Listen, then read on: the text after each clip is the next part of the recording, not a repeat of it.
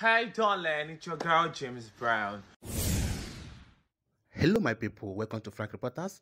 If you're joining us for the first time, hit the subscribe button and turn on the notification tab. You guys have the guts, the audacity to think I'm a man. I'm a woman. I said this. I said this before. I'm a woman. See this one here. Do you the period? Yes. I.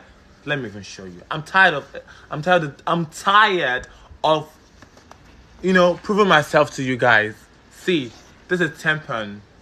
This tampon, I used it to, you know, I'm even. You know what? Let me put it back. Let me put it back because you guys do not get it here. I'm a lovely woman. I mean, I'm not the kind of girl you see every day. I'm that. I'm that. I'm not the kind of girl you see every day. You get it, babes.